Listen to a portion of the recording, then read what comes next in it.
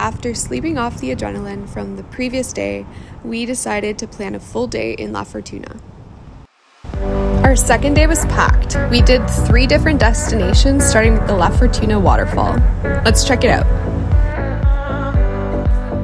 When we got there, we had to go down many steps, and this is just a portion of it.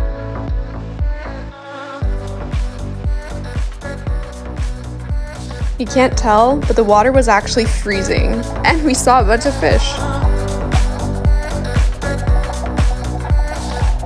On to our second stop, the Arenal volcano, which we were hoping we'd see, but hmm, we did not.